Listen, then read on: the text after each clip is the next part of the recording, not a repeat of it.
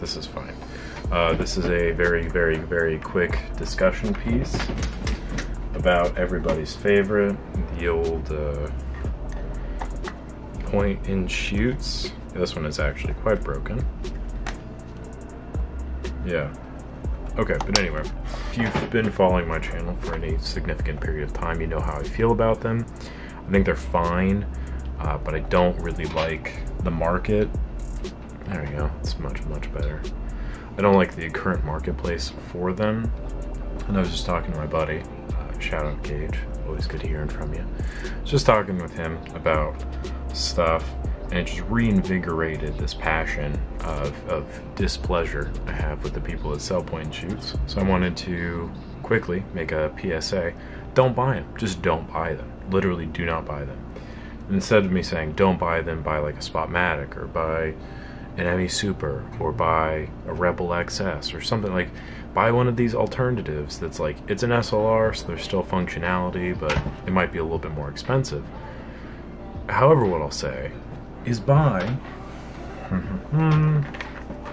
one of these. Uh, this is the Kodak M35. There's also the Ilford one that's like the same deal. I think Ricoh has one that's very similar.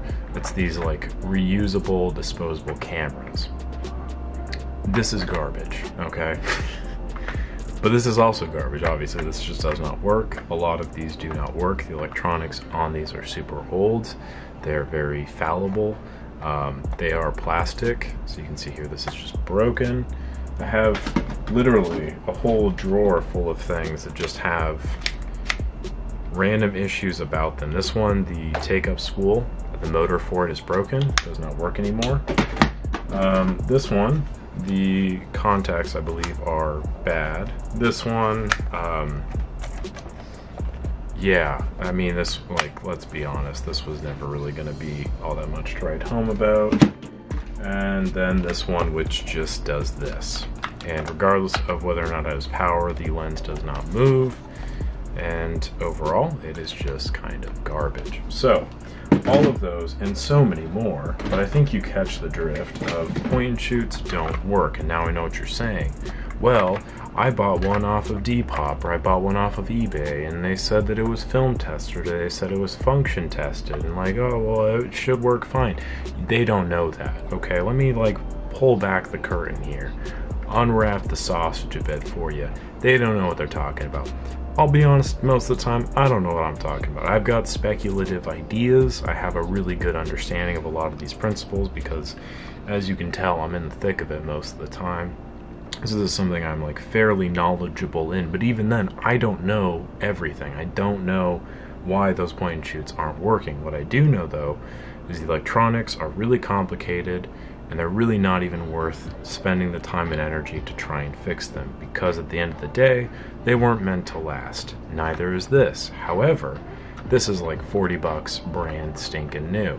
Now, this is also garbage, but it is working garbage. And all you need is a AAA battery. I got these from the Dollar Tree too, so it's even more cheap. It feels like absolute garbage. It looks like it, looks like a toy, to be completely honest. It looks like a McDonald's toy. It feels like a toy. The overall functions of the camera are not great. Um, but if you're just looking for a simple, easy way to shoot 35mm film, get one of these. Don't waste your time or your money getting an old point and shoot because at the end of the day, even something like this, my beloved, my dearest, oh man, this makes me so sad. Konica A4. This is like the the cream of the crop. This is the yeah, the first and the last point and shoot that I will ever truly love. Uh, it's dead, okay? It will never work again unless I spend a lot of time and money trying to fix it, which I might do at some point just because I really do love the form factor of this camera. I think it's perfect for me, but regardless, even something like this, which is a bit higher end, like getting a working A4 or a working Big Mini, those are pretty pricey, but they still fail. And there's, as far as I know, not anyone out there who can reliably repair these. And even if they do, they're going to charge you a lot more than they're worth. So if you're buying one online from someone who says it's refurbished, they don't know what they're talking about. I hate to break it to you, but they don't. There's somebody that likely found the camera online or on eBay or you know at a Goodwill or a thrift store and it's like oh I can probably sell this for more. And they can because the market is there. So more power to them but in the same vein they're lying. They don't they've not repaired it. They maybe cleaned it. Maybe they shot a roll of film through it but they probably didn't because that costs money and they're just trying to make money which is fine but I don't know. I just I don't like the idea of exploiting people that don't really know better, if that makes sense. Um, and if it's somebody who's trying to get into film, I just think that that's running a system that was built 30 years ago that wasn't meant to last 30 years is not the best way to get into it. Something like this is going to cost you a lot less money. It's not as much fun to use, but the images are still going to come out relatively okay. You're not going to be dumping a bunch of money into garbage that may or may not work. And at the end of the day, you have more money to buy something nicer afterwards if this is something you choose to continue to pursue. As opposed to, oh, I just spent $140 on something, it died mid roll, and now I'm out 140 bucks, I'm out a roll of film, and I don't want to shoot this anymore.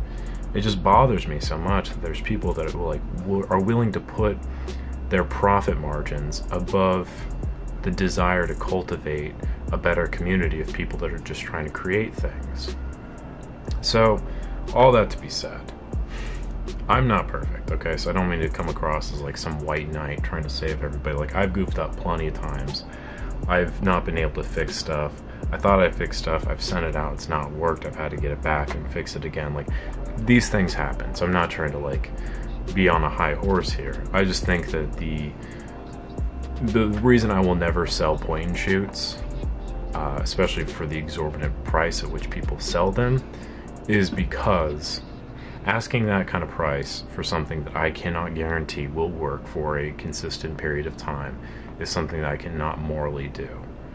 Um, so that's that's it pretty much. Uh, this just is based off my experience with point shoots. I've had too many of them die and I just I don't want to put that on someone else to have to deal with. So I hope that makes sense. I hope that you find this enjoyable. I will say that shooting with this is also not a great experience either. Um, in terms of would I rather shoot with this or like an A1 or something like that, I definitely pick the A1 hands down. But in terms of entry level, if I just had something like this, well shoot, I even started out with something kind of similar to this. It was the first like 35 millimeter camera I got was a plastic point and shoot. It had a panoramic function, and it was fine. It, like it worked perfectly fine. The images that came out were okay, and you know, moved on from there. But it's a good entry point. It cost me like five bucks. So something like this, something if you can find like a really cheap, no nonsense, just plastic thing, go for it. But if you want my opinion, I would start off with like a little SLR, something a little bit more inexpensive that you can really trust and rely upon. This is just a very inexpensive means of entry. Don't buy a point and shoot, that's all. And if you do, um, more power to you, really. Uh, it's just don't spend like 200 bucks on it because they don't know what they're talking about. I just, I have had this thought on my mind. I just got this, so I wanted to make a quick video to talk about that. Um, but anyway, that I think that'll do it for now. I don't want to harp on the point too much. I think you catch my drift. So appreciate you watching and uh, like the video if you enjoyed it. Subscribe to the channel. Comment down below if you agree or disagree. Would love to hear from you. Some feedback is always appreciated. But anyway, thanks for watching. Catch you on the next one.